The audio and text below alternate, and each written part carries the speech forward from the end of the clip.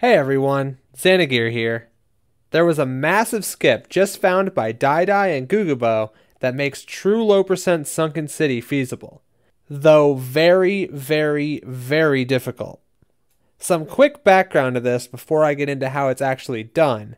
Just the other night, Hectic was the first person to pull off Spring Shoe bubble skip in a run by jumping and landing on a bubble repeatedly to allow you to fully float up to the top above Tiamat, which led to the eventual discovery of this rope strat.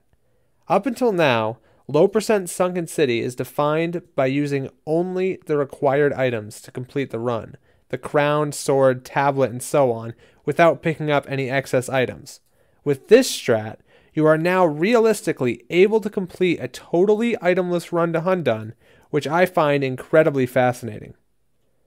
So, to actually pull off the strat, you need to time your entrance past the first laser perfectly, throw a rope while standing on one side of the bubble, then step to the other side of the bubble and let the rope bounce once or twice depending on the timing of the laser.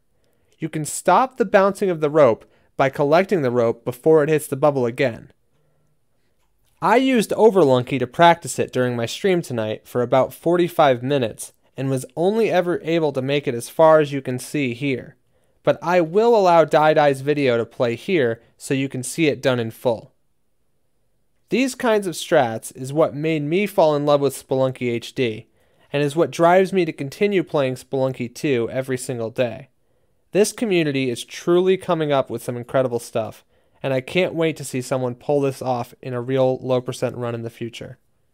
My bet is on Diedai being the first because they just constantly do low percent, but maybe someone else will step up and complete it.